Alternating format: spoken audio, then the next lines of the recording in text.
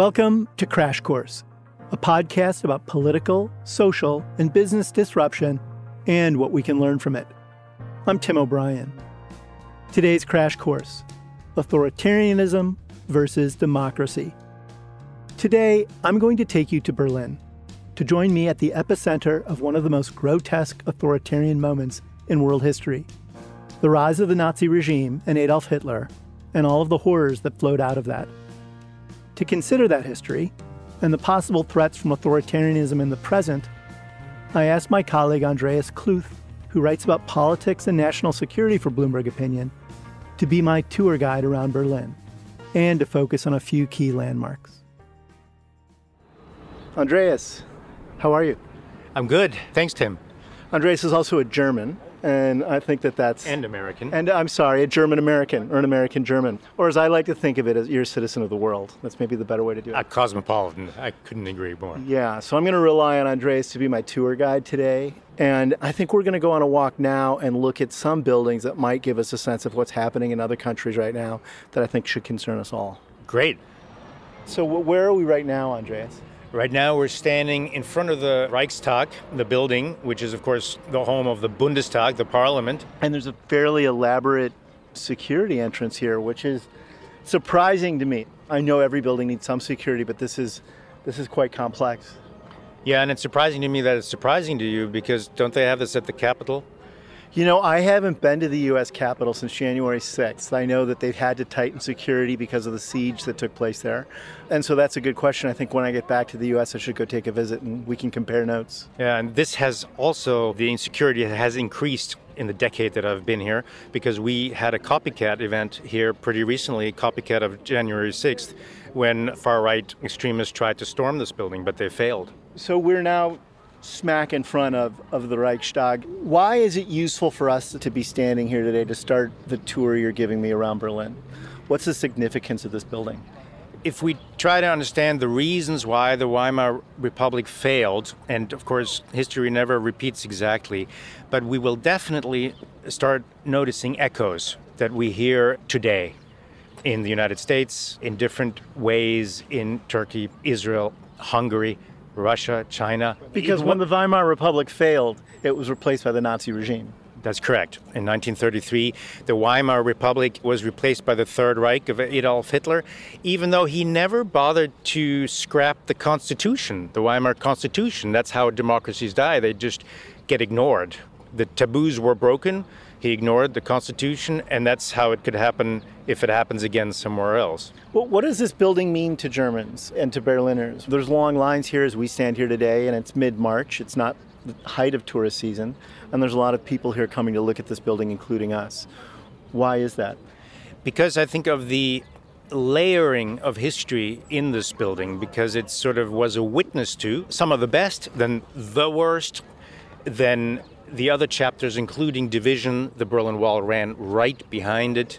And then, of course, reunification and a sort of second attempt at German democracy, which is succeeding so far. So it's a story of all the way down through hell and up again, and maybe onwards toward something stable.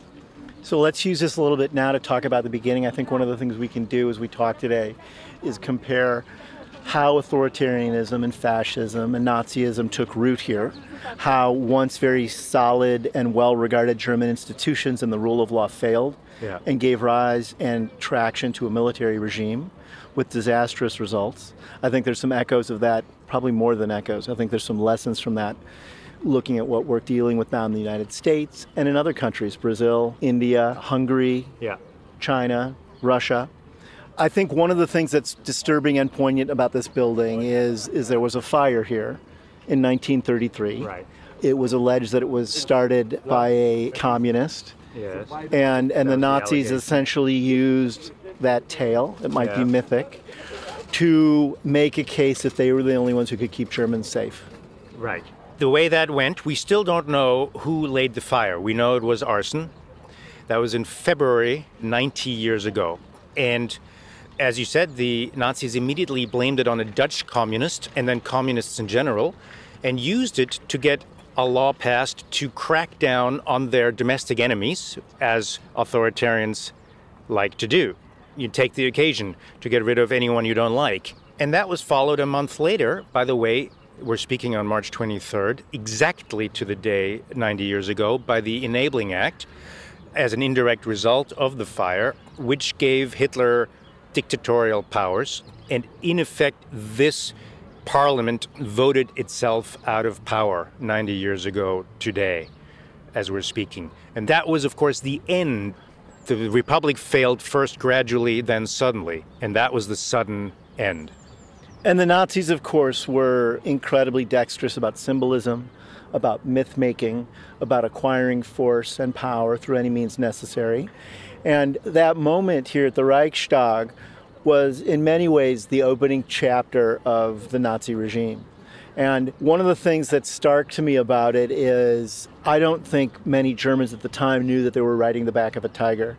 Hitler promised order. There was things that Hitler did. He incited violence. He had foot soldiers in brown shirts who helped keep order on the streets. But I think the German industrial class and other members, stakeholders in German democracy, thought he could keep order and it might end at that. And of course, it became something quite other than that, didn't it? Exactly, and I think some people might be starting to hear the echoes now, but a lot of people, including the president, Paul von Hindenburg, looked down on him in the beginning, didn't take him seriously. They thought he was a cartoonish character. Or he may- liked to dress up in little outfits and make silly speeches. Yes. Or maybe they took him literally but not seriously. Or to who does that a, sound like? I don't know. You tell me. Yeah, well, I'll say it. I think it sounds to me like Donald Trump, and I think that's one of the reasons we're talking today. But you're right in that the establishment at that time, 32, 33, thought it could manage him, Hitler, and it turned out very quickly that they couldn't because well now we're already talking about Hitler but how did we get to that point is what I'm wondering because by that time it was too late and of course as you said when it's too late you don't know the day before it's too late that you only have one day left so this is the first of a few spots we're going to look at yeah. together today. We decided to stop here because this is the inflection point. This yeah. is when erosion began around legislative democracy here in, in, right. in Berlin and in, in Greater Germany. Right. Obviously, there was a hyperinflation and there were things that were different. But here are some things that were very similar to, let's say, the United States or Brazil today. One was hyperpolarization. Because of their system that manifested itself in fragmentation, whereas in the UK and the US you have two major parties that are polarized. But it was polarized because the left, which were at that time the communists, socialists, social democrats who hated each other, were absolute mortal enemies of the right, which were the monarchists, the nationalists, and the Nazis, who started as a small movement.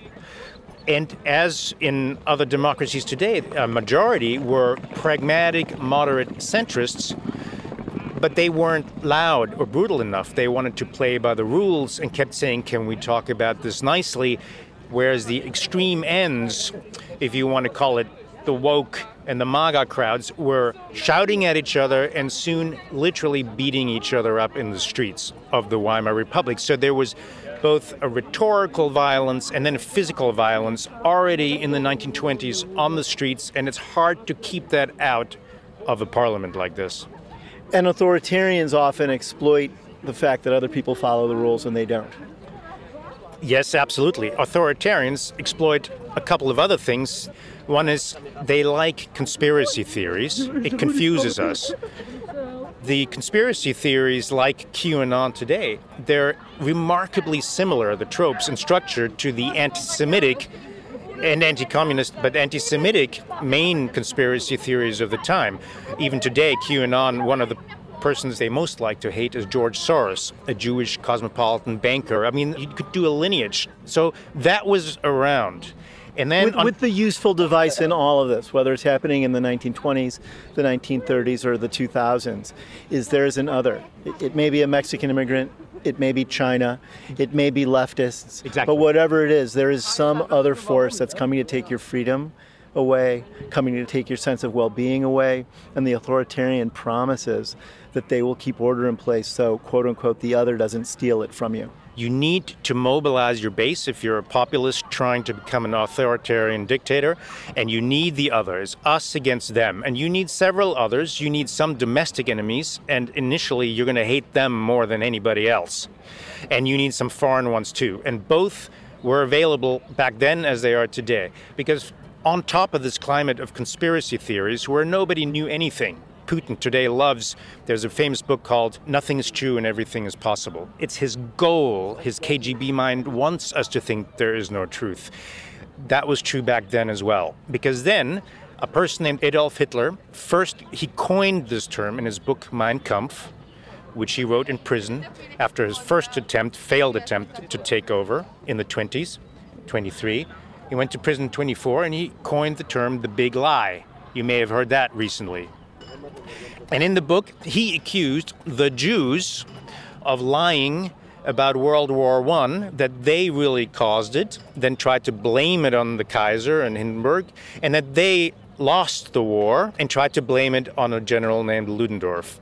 That was what he claimed the big lie was. And then he theorized about it and says if you tell a lie so big, so colossal, normal people can't imagine that it's possible you're lying. Everyone assumes that's when he got his idea for the big lie. And his version was not that any election was stolen or stopped the steal. His version was we never lost World War I on the battlefield. Our domestic enemies, the woke left, actually the Jews and the communists, everyone I don't like, they stabbed us in the back. So it became known as the stab in the back myth. That was his big lie. He did invoke theft. He did say that parts of the German Empire were stolen away, that the settlement at Versailles was penurious, that the Germans gave up too much, and that what he could affect and what the Nazi regime could affect is a reclamation of all those things that were stolen. Not just the German identity, but German lands, right? The German lands that had been lost in the Versailles Treaty, the German lands that were demilitarized, he took those first and above all the German honor because he played, and this is populist, populists played to resentments, not ideals. They played to the low, not the noble sentiments in the population. They want to mobilize a mob. So he was humiliated, Germans were humiliated, and he played to that humiliation and resentment. So he had his domestic enemies, whom he blamed for this, and he conveniently had foreign enemies, foreign others, right from the start, too everyone who wrote the Versailles Treaty. So we've been standing here talking about how democracy gave way to fascism in a place where it seemed that democracy was well rooted. Should we walk a little bit further along and then we can talk about what happened after that occurred? Absolutely. Let's go take a walk. Thanks, Andreas.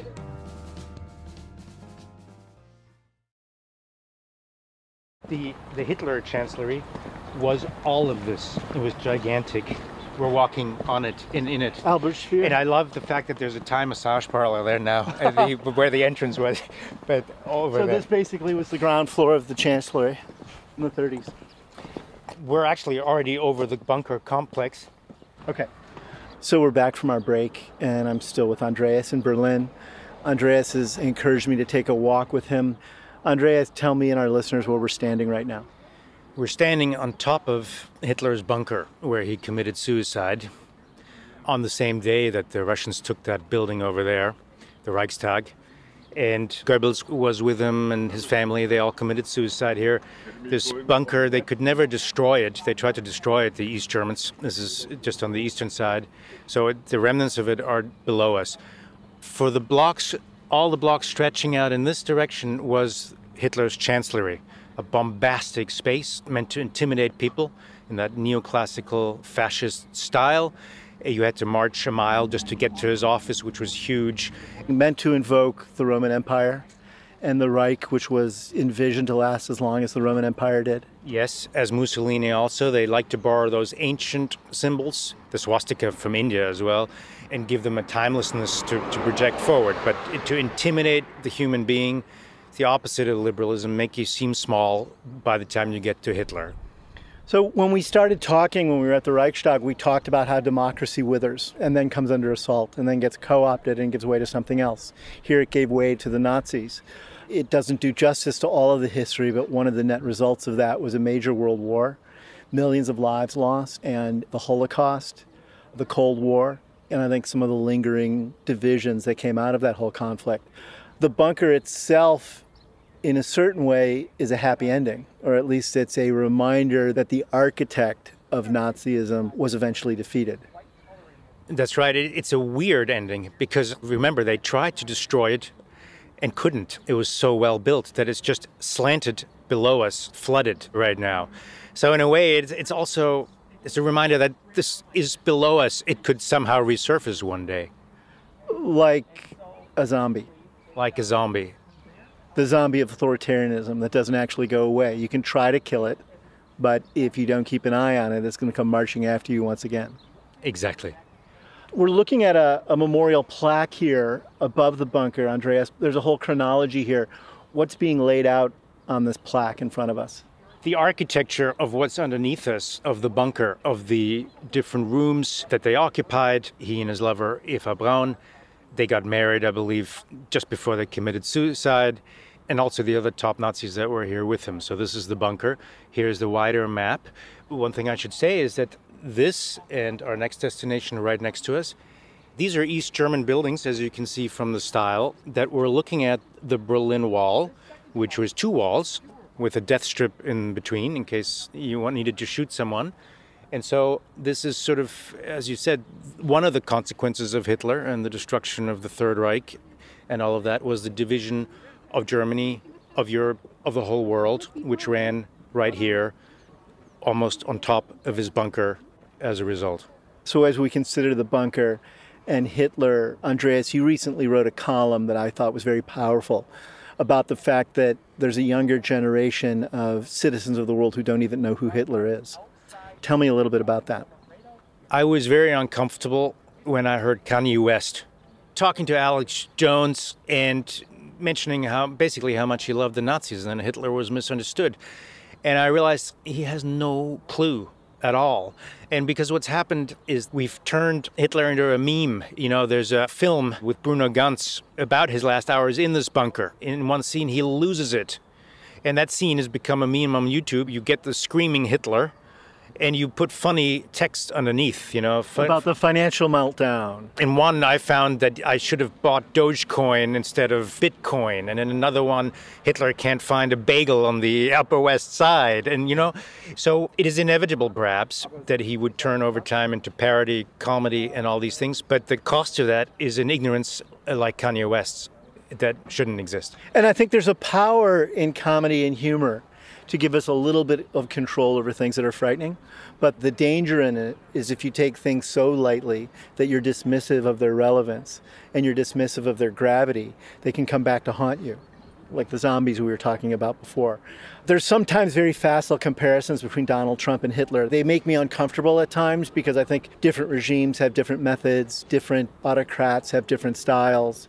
And I think overusing Nazi comparisons and overusing Hitlerian comparisons can degrade their power and their relevance. Nonetheless, one of the things that's interesting to me about our walk around Berlin together today, and the reason we're doing this show, is that there are parallels between the past and the present, and also around the issue of consequence. We're standing above the bunker, the consequences of war.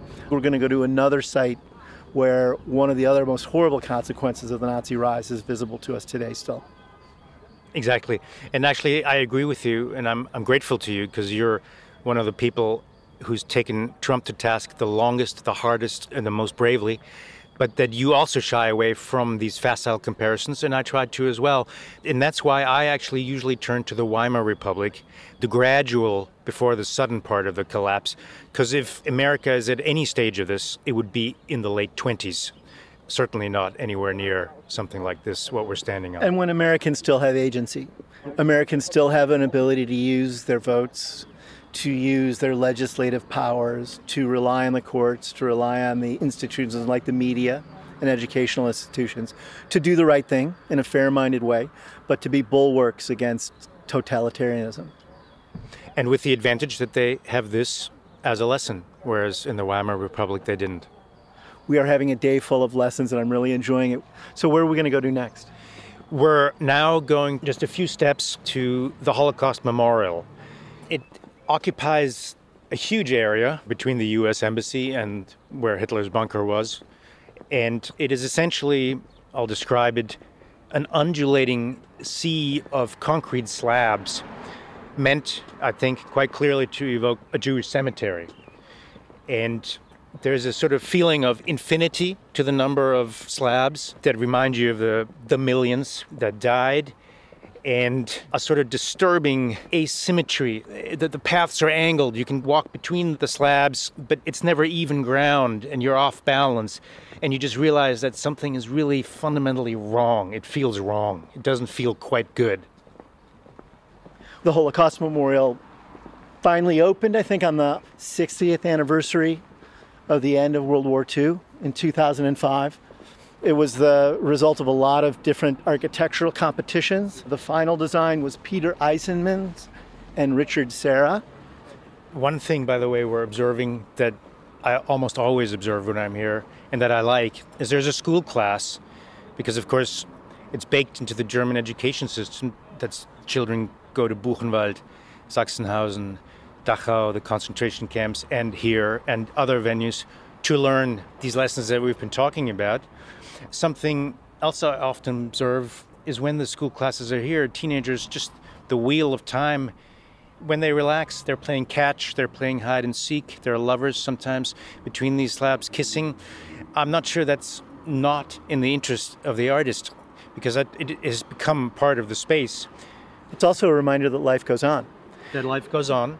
But you can't forget the horrors of the past if you want to live your life in the present with honor and with integrity. And on that note, I remember reading that the slabs are either coated in something or made in such a way that they're essentially graffiti proof or that it's easy to wash that off because of course the big fear was and that tells you a lot about that the story is not definitively over there's always a fear that neo-nazis or others could put swastikas on it that sort of thing and deface this whole memory so the whole ambiguity of the past is there in that way. But in general, I think it's a very special place. And you know, as we walked up to the memorial, we noted that it's the Holocaust Memorial, but we actually didn't specifically say what it memorializes because you and I know. This is otherwise known as the Memorial to the Murdered Jews of Europe. But like your column about Hitler, in which you note how important it is that people know who Hitler is in such a colloquial and routine way that you shouldn't have to describe Hitler's acts or Hitler's own personal history. There is a danger that without memorials like this, that we can forget that at least six million Jews in Europe were rounded up and, and murdered by the Nazi regime in concentration camps. And that's another important thing. As familiar as this is to you and me, it may not be familiar to generations to come especially in a time when authoritarianism is on the rise. I'll tell you, on the way here, we also passed the memorial to the Roma and Sinti. Over there, behind those trees, is a memorial to the homosexuals Hitler killed or the Nazis killed. I'll tell you the type of memorialization that touches me most and that I've written about because of that. It's when you individualize it. That's the other way. Because there is a project, it's called Stumbling Stones in English, where private citizens in Germany and all across Europe can research who lived in their house. And if someone lived in the house who was killed by the Nazis, then an artist, Gunther Demnig, comes to visit you and in a ceremony puts a brass plaque in the floor with the names and the date of death of the people usually the Jews who lived there. And so, all across Berlin, the residential areas, you stumble across these plaques, these tiny little brass plates in the pavement. And you look down, and I've noticed that that works for my children, for instance. They immediately they take to that. You stumble over it, you look down, you read that, and you read one person's story. And so it's actually the memorialization is all the time, everywhere, if you open your eyes to it. And literally embedded into the life and the sidewalks and the buildings of Berlin. The digital equivalent of that, there's a wonderful Twitter site that the Auschwitz Museum oversees in their feed on each day. They offer a single biography of a single Jew who was brought to Auschwitz and died there. And they provide as much biographical material as they can about that person, their age, the date of their death and they're all very poignant. It's accompanied usually by a black and white photograph. That's the digital equivalent, I think, of what we're talking about here at the Holocaust Memorial in a tangible and physical way. Yeah. The other thing that feels important and poignant to me about this memorial is again the weaponization of the idea of the other. that it can become facile to say that there are people of different political persuasions or ethnicities, different races, different genders, different sexual identities, different faiths, all of whom somehow represent a threat to your own identity, your own sense of yourself, the kind of society you want to live in. That's the tug of war that always occurs inside democracies, I think. The danger is when it stops being a healthy discussion of our differences and teeters into the hands of people who want to stomp out pluralism and tolerance. Absolutely, and it starts with that otherization, us and them, and then the exclusion. I mean, it started with the German Jews being excluded throughout the 30s, long before anyone had the idea of the final solution. Where do we see that today? I mean, the closest sort of parallel would be, I think, the Uyghur concentration camps that China has in Xinjiang. That is a totalitarian regime. It's a totalitarian regime that has a surveillance architecture that Hitler could only dream about, but that the East Germans came closer to achieving. But you know, we're not saying by coming here that authoritarianism leads in one step to exactly this again. We're just saying it leads to very bad things. And for example, what Putin is doing in Ukraine is an example of that. In a weird twist, he said Ukrainians don't exist, they're really Russians, they're just misinformed about themselves. But then when they didn't play along, he otherized them. And he turned them, he calls them Nazis, ironically. He calls them Satanists. And he's stealing their children. That's an act of genocide, it's part of the definition. Abducting their women and killing their civilians. And so you're only capable of committing such outrages once you've trained you and your followers for a long time to think in us and them as these people have. And we talked a little bit about it when we started the show today, Andreas, about the events of January 6th when we were over at the Reichstag. I wouldn't begin to compare January 6th to either Putin's invasion of Ukraine or the Holocaust. But January 6th is the dangerous outcome of violent rhetoric and a willingness to torch the norms of a civil society and to torch the Constitution. And January 6th is a warning shot, I think, about what can happen if we let our guard down.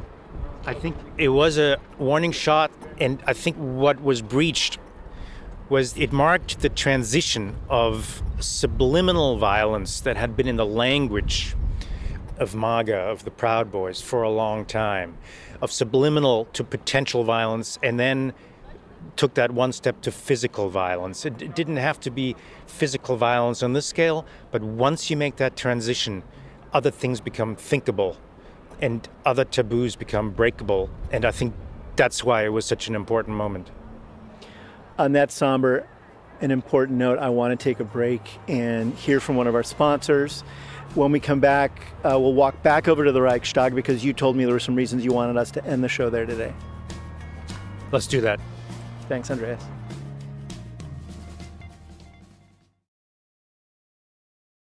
So, Andreas, we've walked around a lot today. We started at the Reichstag. We're now finishing at the Reichstag. That was also your idea. I thought we'd end on a more open ended route. You thought it'd be useful to come back here and take a second look at this building. Why is that? Because the story here in this place has an open ending, even though the story isn't finished yet. We don't know how the story ends elsewhere. Because what I think the lesson is, is, is that this struggle between democracy and authoritarianism is a tug of war that goes on forever. The uplifting part here is it's very emotional what happened after reunification. You know, this building had been mothballed during the entire Cold War a British architect, Sir Norman Foster, came in. They decided to move the capital from Bonn to here. So the workmen got busy and they stripped off the paneling and they found the bullet holes from the end of the war, April 1945. Russian bullet holes. Russian bullet holes. They came from the Swiss embassy over there shot at it from here and from the other side, entered it, and then the Russian soldiers, drunk on vodka, they scrawled their names, graffiti on these walls. And they found that in the 1990s when they were preparing to renovate it. And a big debate broke out. What should we do now that we have a united country again and still want to have a better democracy? And they decided to leave the graffiti on the walls. Some of it had to be removed, you know, so that it's G rated or PG rated, but make it a feature rather than a bug. But now, Olaf Scholz and the members of parliament, when they cast a vote on the Ukraine war, they walk past the graffiti that the Russians scrolled there after the defeat of Nazi Germany and the total destruction of their country at that time. And that serves what purpose? What's the value in, in having that so front and center? I think it's an exhortation, like all these monuments here. It's subtle, and not everyone may notice it, but it's saying be vigilant, never think the story is over. There is no end of history. The struggle continues, and make sure this democracy doesn't fail a second time. My crash course colleague, Anna Mazarakis, and I were talking as we drove in from the airport into Berlin how singular it is, I think, that Berliners and, and, Germans more broadly have kept these reminders so central to the life of the city. We've looked at a few of them already today the Reichstag, the bunker, the Holocaust Memorial. But it is essentially an attempt, I think, to use a physical reality, monuments, memorials, and once bombed out buildings, as a reminder of the horrors of the past so we don't repeat them in the present. And as Anna and I talked about that, we were remarking how the US, for example, we don't really have the same kind of tangible memorials to the genocide involving Native Americans. We don't have the same kind of tangible reminders of slavery. And there's not a lot of other countries that do. And there's something to be said for the fact that the Germans have embraced it to that extent. Explain to me why you think it was so important to Germans to do that. The West German identity during the Cold War was actually built, well, first of all, with the help of the Americans in particular and the Western allies. But then it was built on the foundation of atonement. At some point, they realized we have to examine ourselves and make sure this never happens again. But also, we have to take this responsibility and not whitewash anything. And they said, no, we're going to memorialize it and build a new identity on that because the old one is erased. And so it became part of German identity. The East Germans were merged into that identity, not always successfully. But I think the United Nations agreed that we're going to build our iconography around that idea of atonement, of never again, and we're going to get it right this time. So we're standing at a place where democracy in Germany was born, where democracy in Germany was torn out, where democracy was fought over through a, a war, and where democracy was restored. Do you feel optimistic that democracy will remain in place and well protected and well regarded elsewhere in the world? There's a phrase I've heard paranoid optimism. I think I'm a paranoid optimist, which is good. I believe that in this place, in this country, they're not going to do it again. You mentioned to me over dinner how ironic it is that the US and NATO that we're trying to get Japan and Germany to rearm. Well, that's common sense today because they're not going to be the same threat they were. The threat has moved somewhere else. So it's not about a place going evil. It's more, it could happen again somewhere and in a different way. And so, in, in that sense, this building has lessons to teach other countries today because the struggle and the tug of war is going on in much of the world. And it can disappear when people let their guard down, when people take institutions for granted, and when people don't really respect the rule of law. When taboos are broken and people get bored with that and stop pointing it out, when rules are broken, when the independence of the judiciary is undermined, as in Poland, as in Israel it was attempted, but it didn't work. See, that's what should happen. What the Israelis have stopped that move to make their courts dependent on the government. And there's an ongoing battle in the U.S. over this. It sprang fully formed into view after the 2020 election when there was a big battle in the court system and then try to use the law to overturn the results of the 2020 election. American voters, American citizens had to really rely on the judiciary and the wisdom of judges in different states, the sort of sanctity of the judiciary itself and the judicial process to protect democracy and to protect the vote. But in many cases, that, that was on a knife's edge at different times and in different states. That was on a knife's edge. And of course, in America, I think the checks and balances are old and mature and robust. But if you look at Hungary, they are no longer there. And the checks and balances include the courts, they include the press, they include other institutions like universities as well. In Hungary, a lot of them have been neutered. In other countries, they're gone. Russia, they're gone. And you know, just Freedom House, the think tank, they've been publishing a report for 50 years on democracy. And they came out with one just a couple of weeks ago.